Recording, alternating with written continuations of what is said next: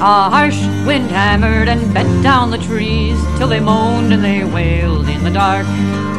A wind cold and bitter as lies or as death, as cruel as the jaws of the shark.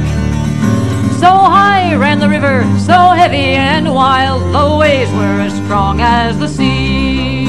A fool could have told it was no night to be out earning a ferryman's fee. Ferryman, ferryman, won't you be kind? My mother and father are waiting for me. Ferryman, ferryman, take me across, though I haven't the price of your fee. She stood there alone on the cold heaving dock. She was pale and she trembled with fear. Her hands were clenched white as the moon on her breast as she waited his answer to hear. Although it's no night to be crossing, he said, for their sake I'll take you aboard. They must be near dying with worry for you, and one fare I'll easily afford.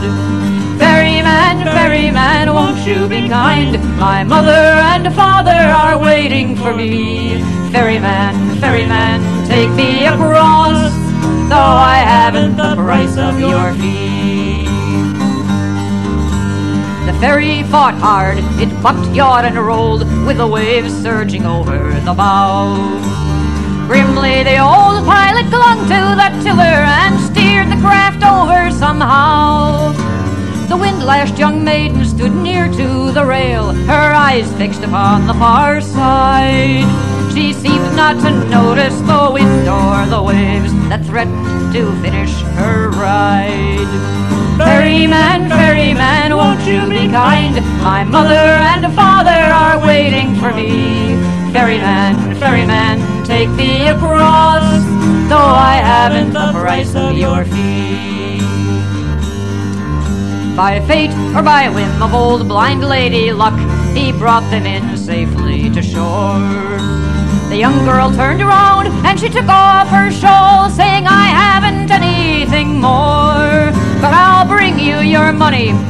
tomorrow, I swear, tomorrow at first morning light. Until then, keep this as a trust of my pledge. And she disappeared into the night. Ferryman, ferryman, won't you be kind? My mother and father are waiting for me. Ferryman, ferryman, take me across, though I haven't the price of your fee.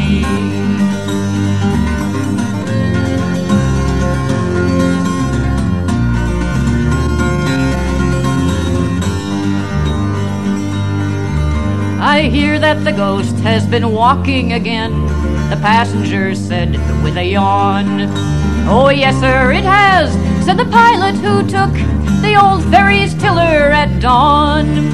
The annual storm that sank this ferry's twin came down just the same time last year.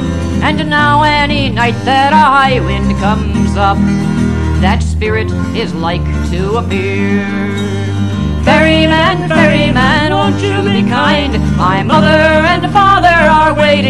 me.